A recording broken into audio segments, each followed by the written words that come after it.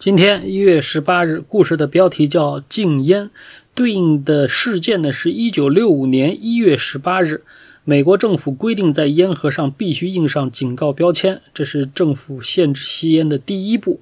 两年之后呢，联邦通讯委员会还下令电视台和广播电台要提供免费时段，播放禁烟的公益广告啊。那么到了一九七一年，全国还禁止了。啊，电视台和电台的香烟广告，七一年，注意啊。那么这个呢，当然这个烟呢就是香烟啊，不是之前的这个鸦片。那美国呢？美国一九六五年的吸烟率啊是百分之四十二点四，经过五十年的努力，二零一四年吸烟率降到百分之十八。这点其实非常直观的呢，是从好莱坞电影里头就可以感知到。之前的早期四五十年代的黑白片里头，基本上男女啊都是，特别是男女的抽烟，基本上这个这个非常非常普遍啊。你如果哪个角色不抽烟，只能说明他穷啊。后来呢，慢慢的吸烟才逐渐减少，到后来甚至于就很少。出现了，只除非是年代要求，你比如说，就拍的就是四五十年代那会儿老钱时代的，那么大家都抽烟啊，那不得不抽啊，或者怎么地啊？那吸烟这个事情呢，二手烟也是在后来这个，呃，是四四年，注意啊，四四年美国卫生总署发表了一份吸烟会引发癌症和其他疾啊疾病的这个报告书，也就是说，四四年人们终于确认了吸烟和。某一些疾病的确切的病理和这个病理的关系，那到了六五年，也就是说将近二十年之后，才开始正式禁烟。这个民主政府它也是经过长期的纠折，但这一切一切的开始在哪呢？这故事里头告诉我们，实际上是一直早在了一四九二年，是哥伦布啊，哥伦布经过七十一天的航行，横穿大西洋来到了美洲啊，也就。他当时呢，他登陆的地点呢是被圣被定义为圣萨尔瓦多岛啊。根据他当时的航海日志呢，岛上的人们送给他们水果、木枪和一些发出特殊香气的干叶子。他们把水果吃光啊，不知道那些叶有什么用，就随意扔在了甲板上。然后呢，继续航行，呃，航行到古巴，派了两个水手。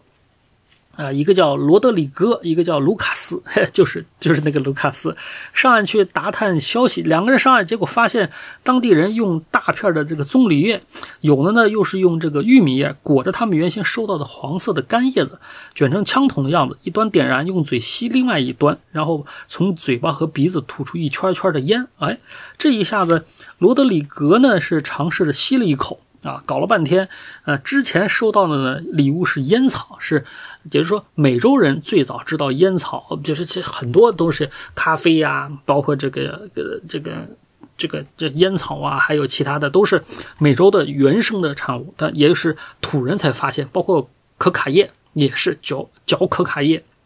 那会儿没有化学提纯啊技术，直接嚼可卡叶也能够从里头呃吸收一些可卡因啊，就是呃这叫毒品吧啊，现在叫软毒品啊。之前就只要是不只要不把它变成海洛因，这算是算是啥呢？呃，这个呃骨骨科碱吧，反正那种吧啊。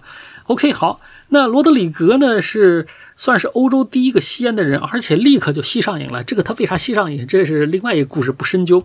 但是呢，他回到西班牙之后呢，当着众人的面呢表演吸烟，结果别人呢觉得他这个呃从鼻子里还能喷出浓烟，觉得他是呃好像是在搞什么邪术，把他关抓起来关进大牢。这。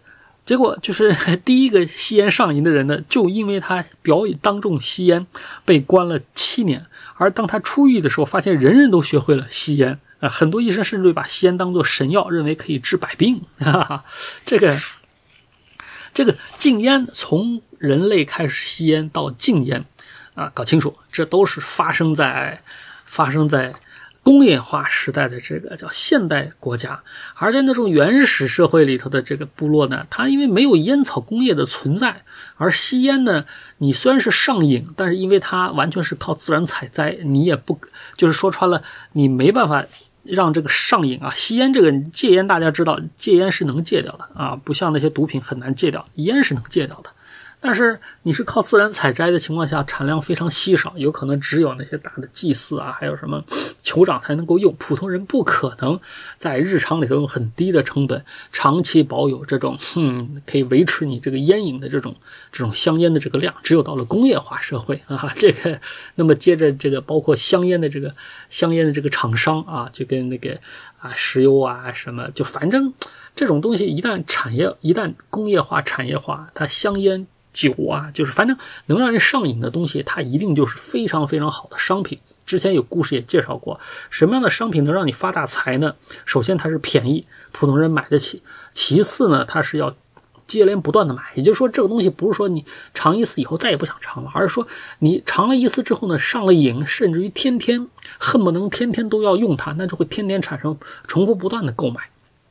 那么，只有这种小额重复不断的购买，才会给这厂商带来源源不断的财富。香烟恰恰是其中一种最经典的、最经典的这个商品，所以它会对整个社会产生巨大的影响。那么，当然，它长期积累之后，对每个吸烟的人的这个叫身体的损伤，也是、也是、也是确切的。之后，那政府就不得不考虑到，我是放任。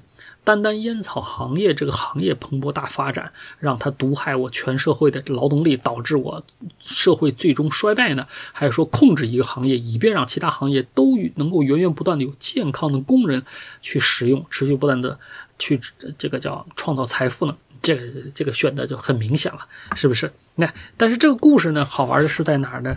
就是到底为啥会成瘾？这个我不会吸烟啊，不知道。